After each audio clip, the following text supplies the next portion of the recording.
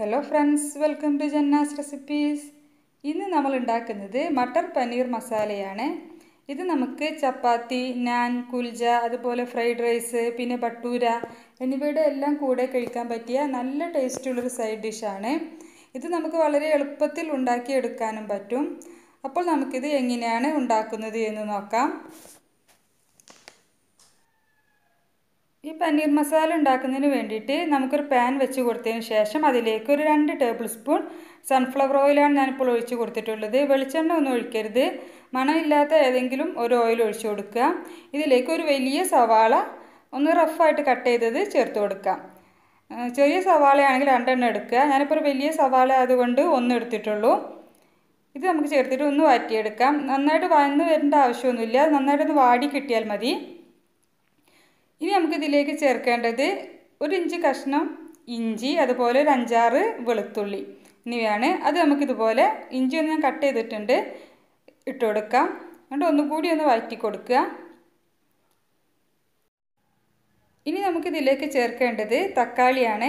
ഞാനിപ്പോൾ ഇവിടെ രണ്ട് മീഡിയം സൈസിലുള്ള തക്കാളി കട്ട് ചെയ്തെടുത്തിട്ടുണ്ട്. അത് നമുക്കിതിലേക്ക് ചേർത്ത് കൊടുക്കാം. എന്നിട്ട് ചെറുതായിട്ടൊന്ന് വഴറ്റി കൊടുക്കുക. ഇതിന് ശേഷം നമുക്കിതിലേക്ക് പച്ചമുളക് ചേർത്ത് കൊടുക്കാം. ഇതിപ്പോൾ കൂടുതൽ എരിവുള്ള കറിയൊന്നുമല്ല. ഞാനിപ്പോൾ ഇവിടെ വല്ലാണ്ട് എരിവില്ലാതെ രണ്ട് പച്ചമുളകാണ് ചേർത്തിട്ടുള്ളത്. പിന്നെ നമുക്കൊരു എട്ട് പത്ത് അണ്ടിപ്പരിപ്പ് കൂടി ചേർത്ത് കൊടുക്കാം.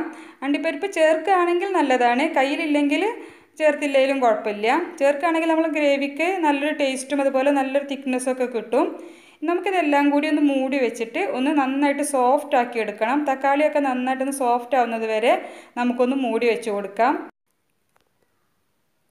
ഒരു രണ്ട് മൂന്ന് മിനിറ്റിന് ശേഷം നമുക്കിതൊന്ന് തുറന്ന് നോക്കിയിട്ട് ഒന്ന് മിക്സ് ചെയ്ത് കൊടുക്കുക. എന്നിട്ട് നമുക്ക് ഒന്നുകൂടി ഒന്ന് മൂടി വെച്ച് കൊടുക്കാം. നന്നായിട്ട് സോഫ്റ്റ് ആയിട്ട് വരട്ടെ തക്കാളി. അതുവരെ നമുക്കൊന്ന് മൂടി വെച്ച് കൊടുക്കുക.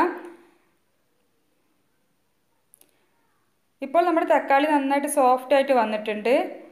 നമ്മൾ കൂടി ഒന്ന് മിക്സ് ചെയ്ത് കൊടുത്തതിന് ശേഷം നമുക്കിതൊന്ന് തണുക്കാനായിട്ട് മാറ്റി വെക്കാം. അതിന് ശേഷം നമുക്കിതൊരു മിക്സിയുടെ ചാറിലേക്ക് മാറ്റിയിട്ട് ഇത് അരച്ചെടുക്കണം. തണുത്തതിന് ശേഷം മാത്രം അരച്ചെടുക്കുക. ചൂട് ചൂടോട് കൂടിയിട്ട് അരച്ചെടുക്കരുത്.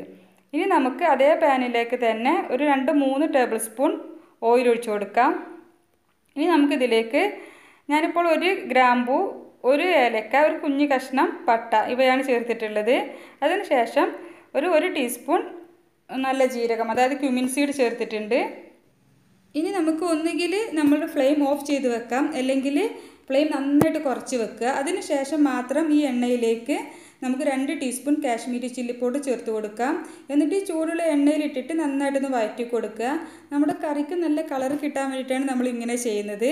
കാശ്മീരി ചില്ലി പൗഡർ കയ്യിലില്ല എങ്കിൽ ഒരു ഒരു ടീസ്പൂൺ സാധാരണ മുളക് പൊടി ചേർത്താൽ മതി.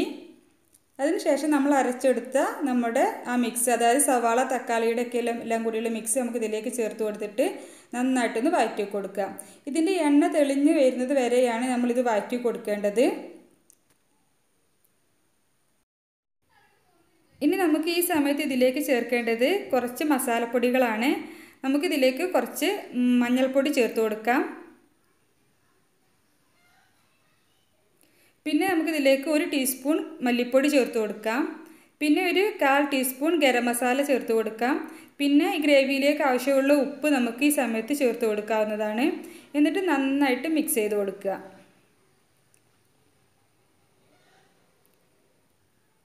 ഇത് നമ്മൾ മിക്സ് ചെയ്ത് ചെയ്തിട്ട് നന്നായിട്ട് വഴറ്റി നന്നായിട്ട് എണ്ണ തെളിയുന്നത് വരെ നമ്മളിത് വഴറ്റി കൊടുക്കണം.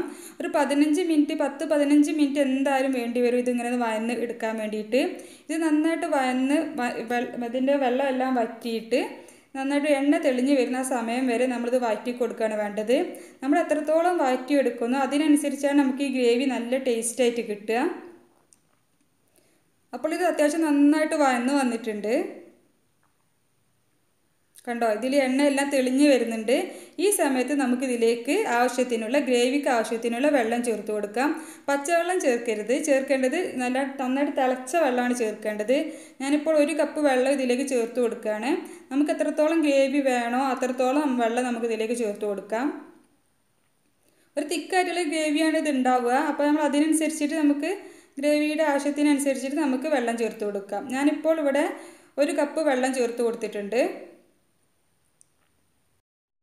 ഇത് നന്നായിട്ട് മിക്സ് ചെയ്ത് കൊടുത്തതിന് ശേഷം നമുക്കിതിലേക്ക് ചേർക്കേണ്ടത് ഗ്രീൻ പീസാണ് ഞാനിപ്പോൾ ഇവിടെ അര കപ്പ് ഗ്രീൻ പീസാണ് എടുത്തിട്ടുള്ളത്.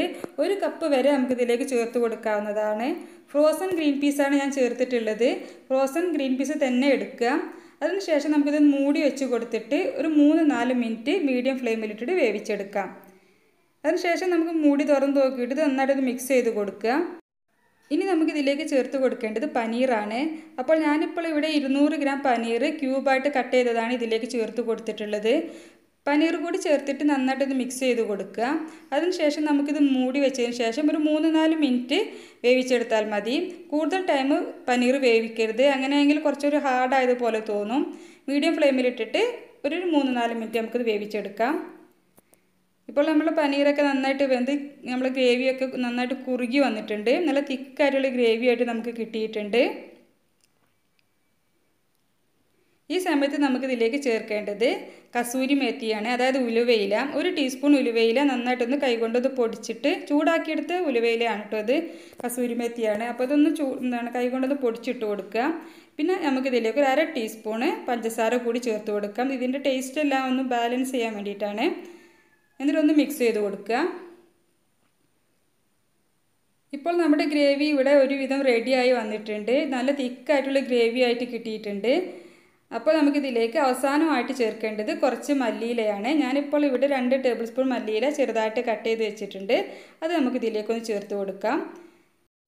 അപ്പോൾ നമ്മുടെ മട്ടർ പനീർ മസാല ഇവിടെ റെഡി ആയിട്ടുണ്ട്. ഇനി നമുക്കിതൊരു സെർവിംഗ് ബോളിലേക്ക് മാറ്റാം. അപ്പോൾ ഇത് നല്ല ടേസ്റ്റുള്ള ഗ്രേവിയാണ് ചപ്പാത്തിയുടെ കൂടെയും നാനിന്റെ കൂടെയും അതുപോലെ ബട്ടൂരയുടെ കൂടെ ഫ്രൈഡ് റൈസിന്റെ കൂടെ എല്ലാം കഴിക്കാൻ പറ്റിയ നല്ലൊരു ഗ്രേവിയാണ് നിങ്ങളിതൊന്ന് ട്രൈ ചെയ്ത് നോക്കണം. എന്നിട്ട് നിങ്ങളുടെ അഭിപ്രായം എന്തായാലും കമന്റ് ചെയ്യണം. നിങ്ങൾക്ക് എന്റെ വീഡിയോ ഇഷ്ടമായെങ്കിൽ നിങ്ങൾ ഒന്ന് ലൈക്ക് ചെയ്യണം. അതുപോലെ സബ്സ്ക്രൈബ് ചെയ്തിട്ടില്ല എങ്കിൽ പ്ലീസ് ഒന്ന് സബ്സ്ക്രൈബ് ചെയ്യുക. ഇതുപോലുള്ള നല്ല റെസിപ്പികളുമായി നമുക്ക് വീണ്ടും കാണാം. ഇൻഷാ അല്ലാ താങ്ക് ഫോർ വാച്ചിങ്